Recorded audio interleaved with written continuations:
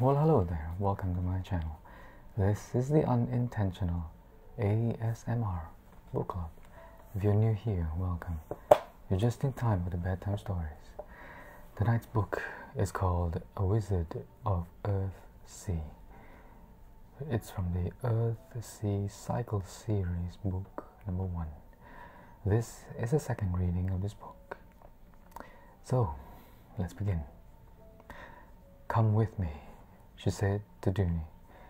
She took him into her hut where she lived alone. She let no child enter there usually, and the children feared the place. It was low and dusky, windowless, fragrant with herbs that hung drying from the crosspole of the roof. Mint and moly and thyme, yarrow and rushwash and paramal, king's foil, cloven foot, tansy and bay.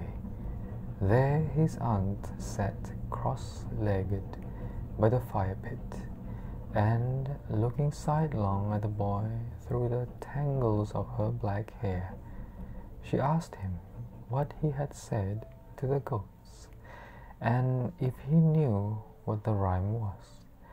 When she found that he knew nothing, and yet had spellbound the goats to come to him and follow him, then she saw that he must have in him the makings of power. As her sister's son, he had been nothing to her, but now she looked at him with a new eye. She praised him and told him she might teach him rhymes he would like better, such as the word that makes a snail look out of his shell, or the name that calls a falcon down from the sky.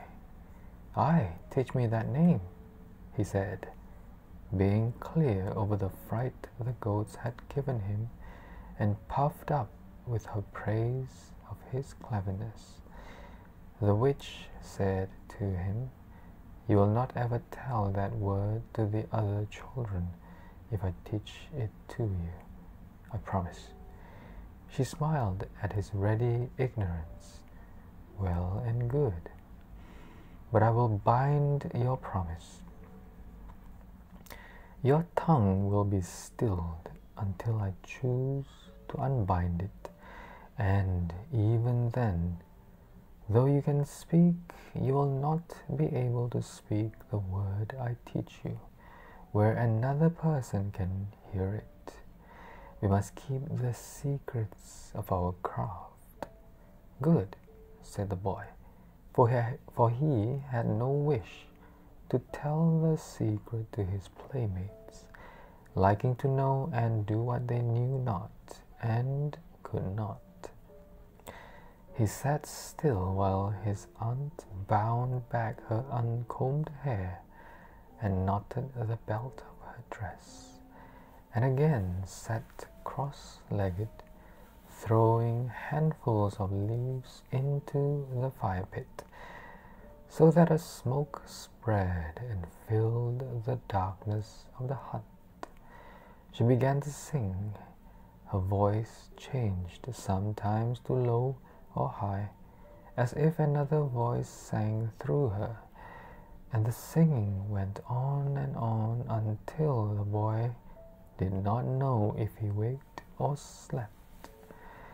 And all the while the witch's old black dog, that never barked, sat by him with eyes red from the smoke.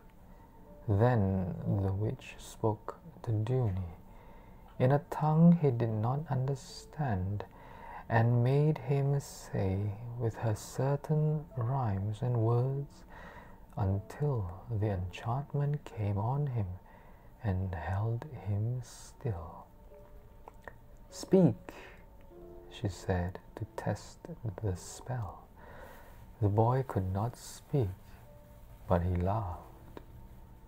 Then his aunt was a little afraid of his strength, for this was as strong a spell as she knew how to weave.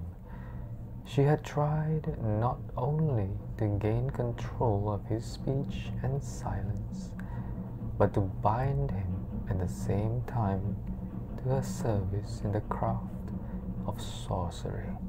Yet, even as the spell bound him, he had laughed. She said nothing.